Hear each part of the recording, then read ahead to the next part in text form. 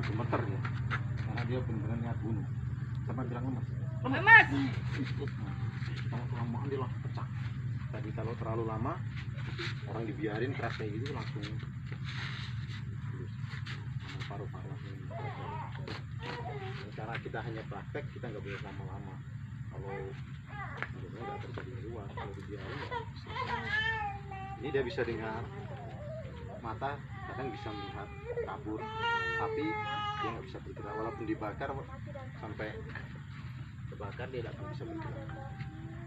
Jadi senjata kita sudah di mulut satu sampai lima tingkat di mulut sabda tadi sabtu ucap lewat lima tingkat sabda batin mainnya kebatinan. Kedip mata sentil ini cuma cuma macam ini senjata. sudah bisa ngumpuin karena ini masih tahap lima tingkat semua pakai ucapan karena ini kan udah bisa bernapas kayak bikin keras Buka dulu Rapat. langsung keras ini ikuti ini seperti kayak kayu ini walaupun diangkat bolak balik ya seperti itu Lemas.